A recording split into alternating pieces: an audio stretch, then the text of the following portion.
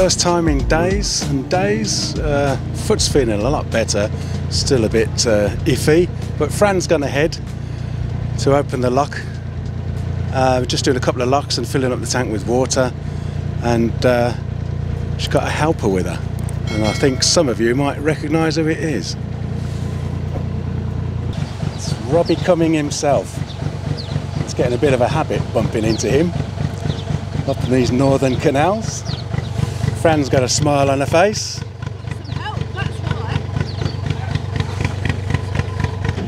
Hey Robbie!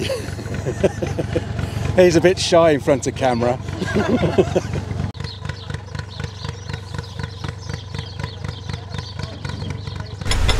Put your back into it, come on.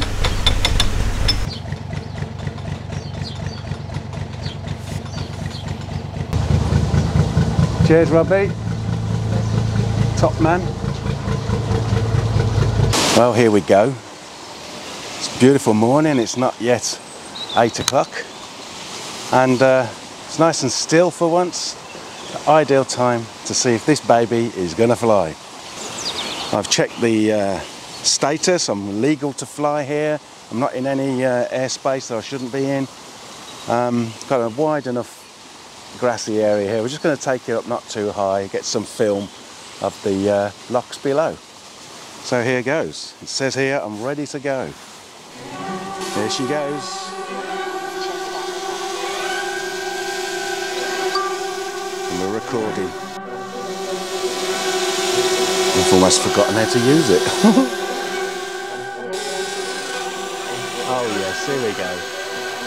We're back in the game.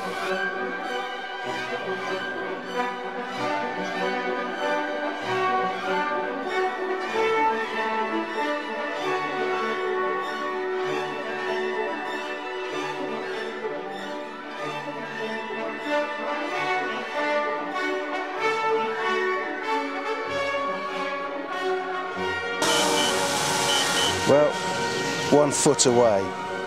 Pretty hot, eh? Excellent.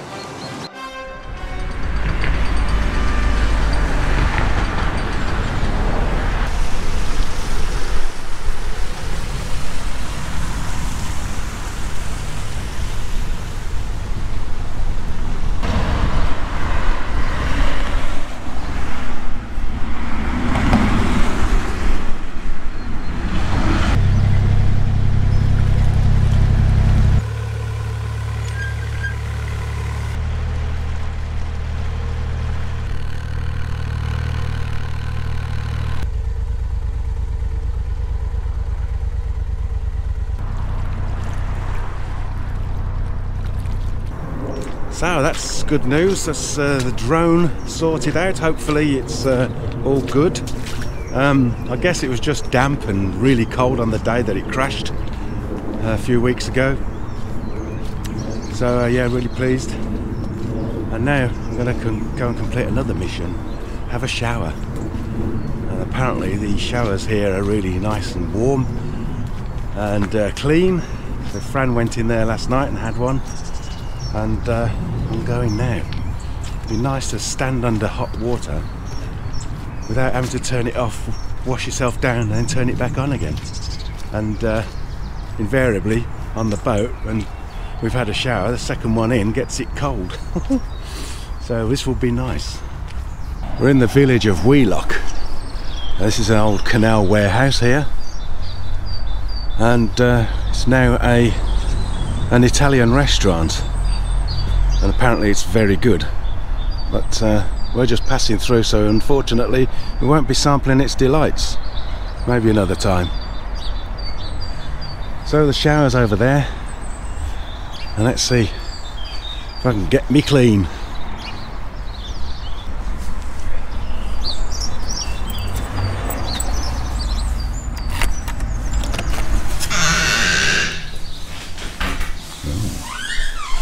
It's certainly really warm. Ooh, not bad. As far as uh, CRT shower facilities go, that was brilliant. to be able to just stand under there for minutes under hot water. Fabulous.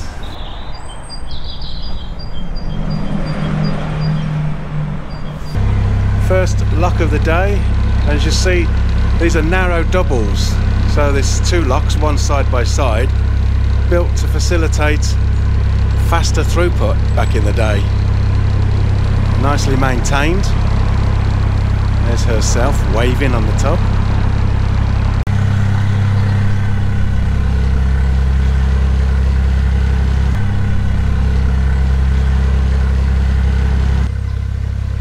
Boat's almost come to a standstill. It must be a bit shallow down there.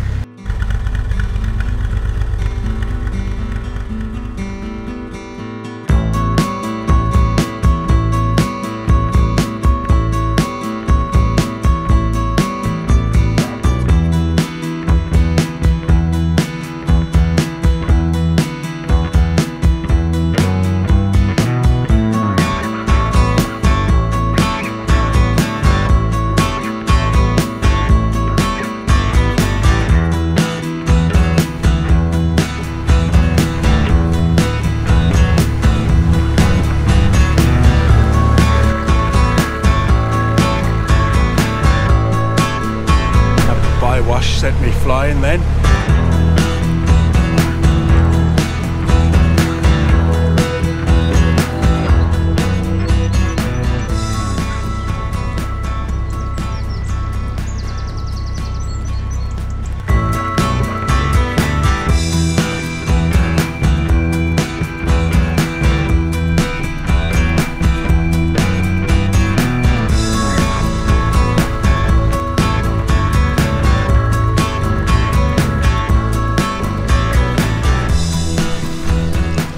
Second lock here is no longer a lock, and uh, it's just being used as a, a bywash now for excess water.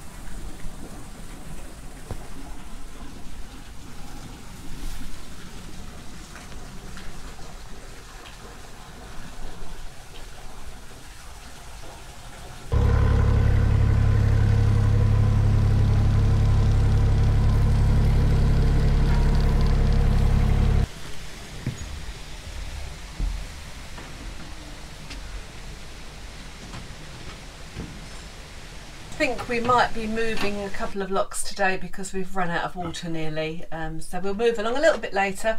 But we're not wasting time. We're not just sitting down doing nothing. I've had a little bit of sort out. I'm going to do a bit of seed sowing. I've managed to get a little bag of uh, sowing compost from a local shop. Can't do very much, but I've gone through my seeds, had a bit of a sort out, and decided what's worth growing again and what's not. Broad beans and peas I'm abandoning because although they grow, we didn't really get anything much off of them that made it worthwhile. We've obviously only got limited space, so they're going. We're not doing those. Radishes will be pretty soon going in, and carrots and little stringless French beans were really good last year. But they can go direct into troughs or pots on the roof in a few weeks' time. But today I'm really just going to sow some lettuce seeds and try and start some courgettes off. I improvised some sowing trays, which is mushroom pots and egg boxes. And I'm going to sow the seeds in the compost in the egg boxes, pop them in there so there's a little bit of drainage underneath them. Um, and fingers crossed they'll all grow nicely. Now the other project that I've got on the go today is to try and make a bird feeder because we've left, or well, we have left some bird feeders behind by accident, but the last one we think somebody took from canal side. Um, and we don't want to leave pieces of plastic and metal around in the countryside. So we've got fat balls, and I've got to try and find a way of putting them out, and also probably leaving them there because if we're there for a few days, they attract all the birds. After a day, we get lots of birds, and it seems a bit of a shame to actually take the fat balls away from them once they've got used to them being there. So this is what I've got: some natural sheep's wool, some bits of willow twig some leaves. I don't know if I'm going to be able to use those in my fat balls, and I'm going to try and design uh, an environmentally friendly fat ball feeder that I can just leave in the hedgerow and it won't matter. So we'll see how we go.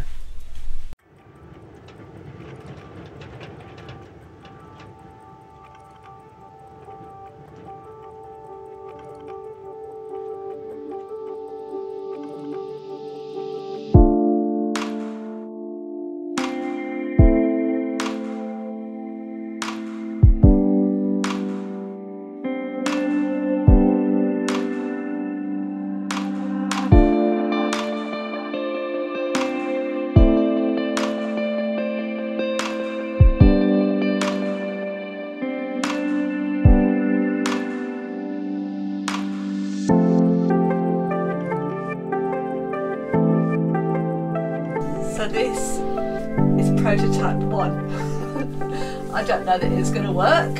It's not easy to make a hole through the fat ball. I did try with a hot um, crochet needle to melt through, but the first one just broke. So the second one, I just very, very carefully wheedled a hole all the way through the screwdriver. I didn't intend it to be like this, it was going to be different, but this is a really flexible little bit of willow twig so once I'd got the hole, pushed the willow twig through, was able to bend it over easily into a handle. And then just as an extra bit, I've put a couple of little twigs on the side just for the birds to perch on. And just, you can pick up bits of fleece anywhere. I just didn't want to put anything, leave anything in the hedges that wouldn't naturally be there. But we just found some sheep's wool and just twisted it into a yarn, which is really strong. And I've just tied it up with that. So who knows? We'll give it a go. well, we're doing lots of locks yesterday and today. Yesterday we did 10. That's the most we've done for ages, I, I think, know. isn't it? Today we're doing 12.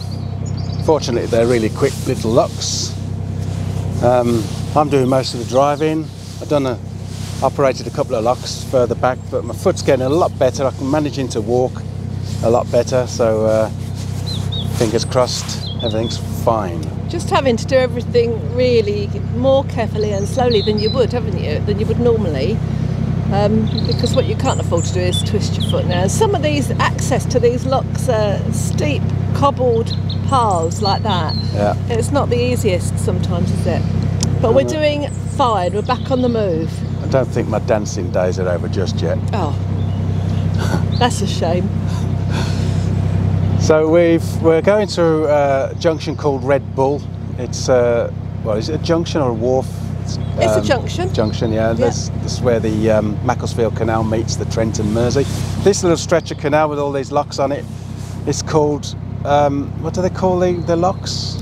It's the Cheshire locks. No. Oh, Heartbreak Hill. Heartbreak Hill. It's known as because because of all the locks, but. Uh, not all that, is it? We've we've been through a lot worse. Well, we've we've been through it with only three arms and three legs between us, so it's not that bad, is it? and uh, we're picking up a car at the weekend. Um, we're going down to London, visit our little granddaughter who we haven't seen in a couple of months. Yes. And uh, looking at the videos we get sent, she's really coming on, isn't yeah. she? She's a beautiful, beautiful little girl. So we're going to spend the weekend in London and all that has to offer. And Red Bull Junction looks like it's a really good place to stop, doesn't it? Yeah, to leave the yeah. boat. It's Hopefully. safe and it's a good place for the car to be collected from. Or they, they drop it off to us. We book it and they drop it off. So that looks really good. We might lose the camera on this bridge. Do you think? Now it's going to be close. Oh, hang on a minute. Bear with. Have a look at the biscuits for a minute. Look. Hi. Yeah, that was a low one. so not only is it a, a Red Bull Junction looks like a good place to leave the boat, safe. Uh, it's easy to get, get access with the car because the car gets dropped off to us, um, and there's a car park there, so that looks fine. But there's also the Red Bull pub, which I think looks quite acceptable, or it seems that it's okay, and it is Friday today, What's so we might have to pay a little school night. visit today. But um, yes, we'll see. So it's going to be a good weekend. We had a lovely evening on uh, Tuesday. Yes. We met up with Chris and Shell uh, from Chris and YouTube, Shell. YouTube channel Chris and Shell, narrowboaters, and uh, also met up with Robbie Cummings. Uh, Actually, got him working for Go, us. yeah, I got him doing a lock or two for us. He's uh, keep bumping into him, don't we? I think uh, he's stalking us actually. yeah, yeah. And also a couple of viewers that we bumped into way back early days on the Kennet and Avon Canal. Uh, Stephen and Caroline, hello. Hiya. And uh, they're up here now as well. So it's uh, great how you see people here and there all the time. You bump into people, don't you? Yeah. It's just lovely. So we had a great night in the pub, didn't we? It was uh, really entertaining. So thank you all for that. We're noticing as we go along that the flora, the, the flowers, really change from area to area. A couple of miles back, it was all bright yellow gorse bushes everywhere, which were beautiful, really bright. Then suddenly, a tiny little yellow flower, which I think is called fleabane, um, which you can actually scatter around to obviously keep fleas away, but we don't need that, hopefully.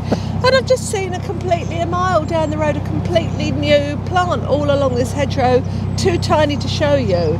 Um, but is a spring plant that we never even knew about until we were on canals, Butterbur. Butterbur. But um, it's really interesting, just a mile along, that it can just completely change. So Anyway. that's us. Nothing else to report. And uh, just going past the little CRT yard. Yeah.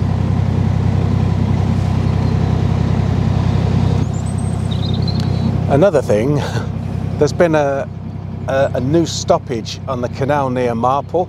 They've actually drained a section of it apparently while they're doing geophysics or something like that, isn't it? Yeah, I don't know. So that's a bit worrying. They're not going to update us. Their last update was Monday. They're not going to update us till next Monday as to what's going on. Uh, so the canal's shut down up there, and that's really where we want to be. It's just before, you know, like, like 100 yards before we need to, Yeah. for the place that we need to be. But all we can do at the moment, because we're under a bit of time pressure to get there, is keep cranking it in the right direction and watching the signs. And at some point next week, we might just have to sit and regather our thoughts completely Turn around, again. maybe. Yeah. But that's what this life is about, isn't it? We've always said you can't plan too much. You just have to go with the flow and uh, work it out as you go along. So we'll see. Indeed. So what's it going to be? Custard cream or chocolate hobnob? Well, I always start with the custard cream. How about a chocolate custard cream? Hey? Yeah, pushing the boundaries of what can be done in biscuit confectionery. Getting above my station Yeah. now, aren't I?